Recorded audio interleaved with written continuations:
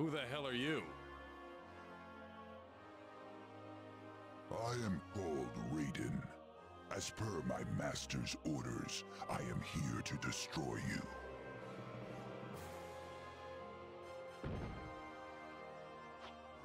So, uh, let me guess. You're the reason my netherworld is supposed to be destroyed.